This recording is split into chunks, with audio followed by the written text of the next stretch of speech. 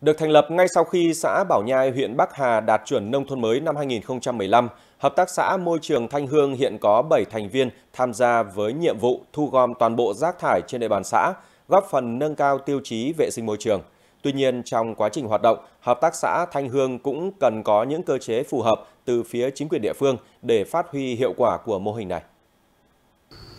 Bãi chôn lấp rác thải này rộng khoảng 1 hecta.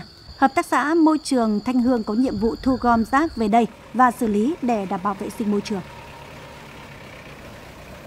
Trong cái thời gian qua thì là cái hợp tác xã Thanh Hương này gom à, rác thải cho toàn à, bộ xã Bảo Nhai này em thấy là là góp phần rất lớn cho cái công uh, cuộc uh, vệ sinh đường làng ngõ xóm và vệ sinh chung của toàn xã rất là sạch sẽ đúng uh, ngày đúng lịch Tuy nhiên, việc thu gom xử lý rác thải của hợp tác xã mới chỉ thực hiện được ở 4 thôn dọc tỉnh lộ 153.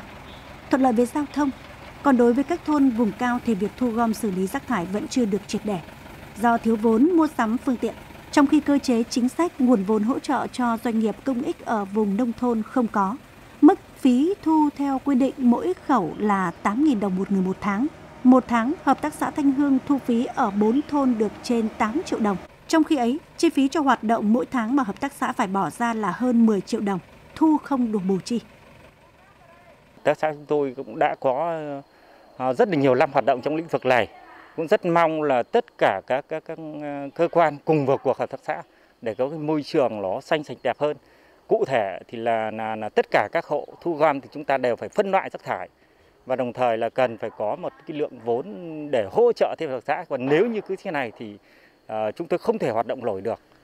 Còn riêng về tiêu chí môi trường thì hiện nay là cái giải pháp của xã hiện nay đang tiếp tục là là, là giao cho thanh hương và đồng thời đang uh, kêu gọi nhân dân là, là huy động là các cái số lượng người dân tăng ờ, số lượng dân ấy, phải tham gia uh, tổng thể vào cái việc là thu gom rác thải và đóng góp tiền để tiếp tục duy trì. Ngoài ra thì cũng đang đề nghị huyện và các cấp là sẽ có một chính sách hỗ trợ về mặt kinh phí cũng như phương tiện để duy trì cái việc vệ sinh môi trường này. Định kỳ, một tuần 3 buổi, hợp tác xã tiến hành thu gom xử lý rác.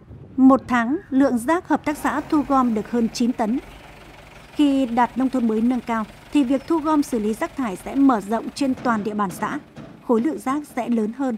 Do vậy, rất cần có cơ chế hỗ trợ đối với doanh nghiệp hợp tác xã hoạt động ở lĩnh vực này nhằm góp phần thực hiện tiêu chí vệ sinh môi trường ở các xã.